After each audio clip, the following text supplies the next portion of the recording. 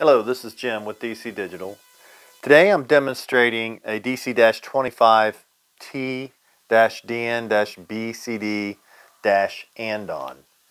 And this one has a custom program in it, as a lot of our stuff does, and which is uh, mostly what we do. Um, but we do have a lot of standard products also.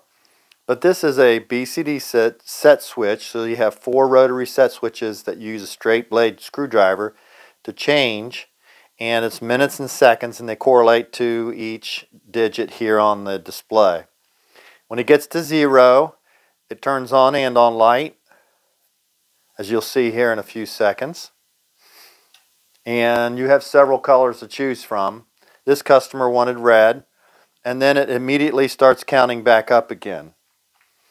This is a 2.3 inch high digit, four digit uh, LED display indoor, but has um, powder coated, texture powder coated outdoor paint, aluminum, all aluminum extruded enclosure, and uh, not extruded, but just aluminum enclosure. And uh, we have a, internally we've got the power supplies, one for the Andon light and one for the timer itself.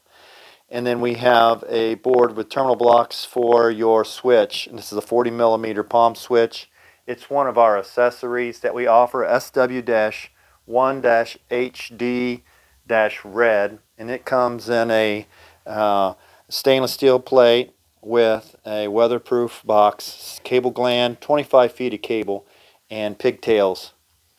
That would just be come would come in through one of the either the sides, which right now these are covered, so you have to come in through the back, and it's a 7 8 inch or half inch conduit knockout, and then just connects also with your straight screwdriver.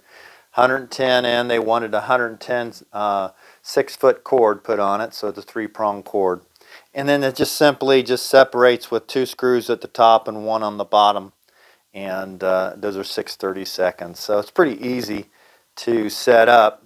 This You can hang it on electrical handy box or a four square handy box or we have knockouts on the back, tabs on the back for either one of those. And also if you just wanted to mount it to um, a couple screws on the wall or set it on the table. And then I'm just going to go ahead and demonstrate. So it's just it's set up right now for reset and start. And as you can see, it's counting up now, giving them the amount of time that it's gone past what they needed uh, for their, uh, I think it's a lumber yard that's using it for timing um, how long it takes them to process laminate.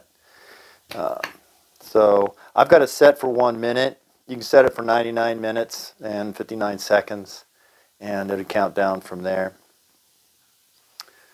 So again, this is Jim with DC Digital and I'm demonstrating a DC-25T dn dash bcd uh, Andon light.